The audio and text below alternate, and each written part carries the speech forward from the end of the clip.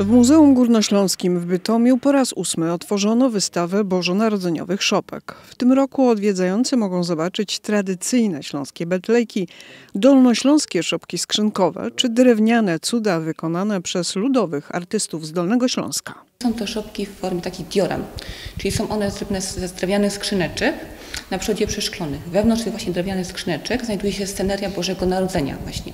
Święta Rodzina, Pokłoczy Króli oraz Pastuszkowie, ale także gdyby całość tego przedstawienia znajduje się na tle takiej wielowymiarowej przestrzeni, przestrzeni krajobrazu górskiego, a także miasta. Jest tam bardzo wiele zawartych y, szczegółów właśnie dotyczących życia codziennego mieszkańców. Nie tylko, tych, tylko właśnie jest tam ten przekaz ewangeliczny pokazany, ale także życie codzienne mieszkańców. Figurki znajdujące się w szopkach wykonane są z drewna, ale także z papieru. Na wystawie można też zobaczyć stworzone przez m.in. Leona Kampkę tradycyjne śląskie betlejki pochodzące z końcówki XX wieku. Te na Śląsku mają bardzo długą tradycję. Te szopki y, najczęściej były pokazywane w zakonach i przy klasztorach i to już na Śląsku jest właściwie można powiedzieć XVIII wiek, kiedy w zakonach one, y, one są ustawiane już rok rocznie jako tradycja.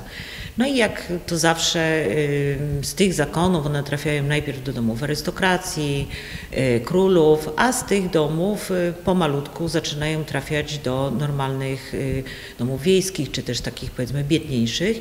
I w ten sposób szopka trafia no i już w XIX wieku funkcjonuje jakby w domach rodzinnych, mieszczańskich i chłopskich na Górnym Śląsku.